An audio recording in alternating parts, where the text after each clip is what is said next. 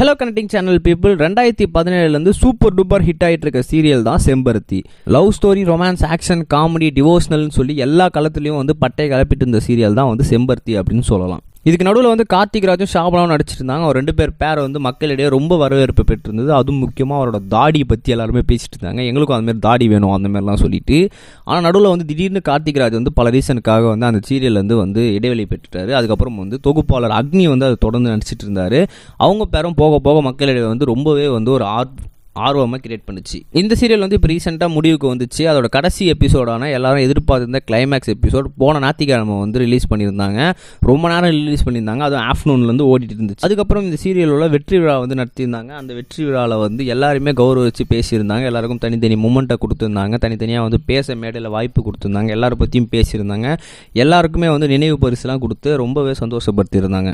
இதுக்கு நடுவில் இந்த சீரியலோட வில்லிய நந்தினியா நடித்த வந்து மோனிகா. ஆல்ரெடி இந்த சீரியலை பற்றி பரபரப்பான பேட்டி கொடுத்துருந்தாங்க. எனக்கு ஒரு அங்கீகாரம் கொடுக்கல எனக்கு வந்து கௌரவிக்கல என்னை வந்து ஒழுங்காக பார்த்துக்கல அந்த மாதிரி சொல்லி நிறைய குற்றச்சாட்டுகளை அந்த டிவி சேனல் மாதிரியும் அந்த ப்ரோக்ராம் மாதிரியும் வந்து விதிச்சிருந்தாங்க இப்போ அது மட்டும் இல்லாமல் அவங்க வந்து ஒரு வீடியோ ரிலீஸ் பண்ணியிருக்காங்க. என்ன அப்படின்னு பார்த்தீங்கன்னா ஸ்டேஜில் எல்லாருக்குமே வந்து தனித்தனியாக கூப்பிட்டு அங்கீகாரம் கொடுத்துருந்தாங்க. அவங்க பேசுறதுக்கு வாய்ப்பு கொடுத்துருந்தாங்க. என்னை மட்டும் யாருமே வந்து கூப்பிடல வந்து பேச வைக்கல. அது மட்டும் இல்லாமல் எல்லாருக்கும் நினைவு பரிசுலாம் கொடுத்துருந்தாங்க. எனக்கு அந்த மாதிரி எந்த ஒரு இன்சிடென்ட்டுமே நடக்கல. நான் எந்த விதத்தில் குறைஞ்சி போயிட்டேன். எல்லார் மாதிரியும் நானும் தானே மழையிலையும் கொரோனா டைம்லையும் வந்து ஷூட்டிங் போயிட்டு இருந்தேன். அதில் வந்து ஏன் என்னை மட்டும் தவற விட்டாங்க? நிறைய கேள்விகளை கேட்டிருந்தாங்க. இதுக்கு யாருமே ஸ்டேஜில் இருக்கவங்ககிட்டையும் வந்து பதில் இல்லை. நான் அங்கேயும் கேட்டேன். அங்கே யாரும் என்கிட்ட பதில் சொல்லலை. இதுக்காக என்னை பற்றி யார் யாருமே கூட ஸ்டேஜில் பற்றி பேசவும் இல்லை.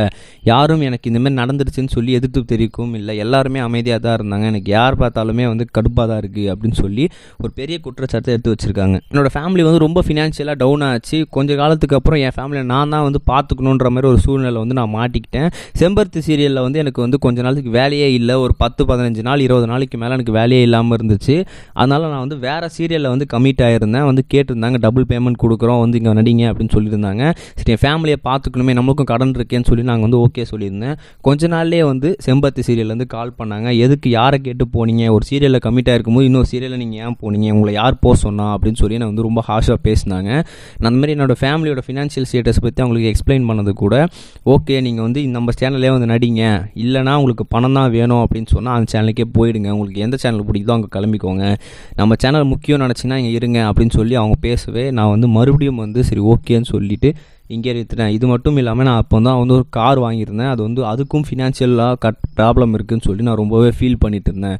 அதுக்கப்புறம் தான் கொஞ்ச நாளுக்கு அப்புறம் எனக்கு ரெட்டை ரோஜாலாம் நடிக்கலாம் வாய்ப்பு கொடுத்தாங்க. இதெல்லாம் ஒரு பக்கம் இருந்தாலும் கூட எனக்கு வந்து அந்த மேடையில் அங்கீகாரம் கொடுக்கல. எனக்கு வந்து எந்த ஒரு கௌரவமே வைக்கல அப்படின்னு சொல்லிட்டு நான் ரொம்ப ஃபீல் பண்ணிட்டு தான் இருக்கேன்.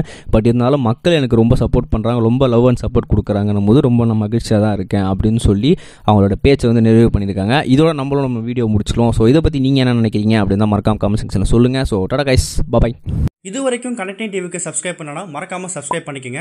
உடனடி அப்டேட்ஸ் பெறுவதற்கு நோட்டிஃபிகேஷன் பெல்லையும் கிளிக் பண்ணிக்கங்க.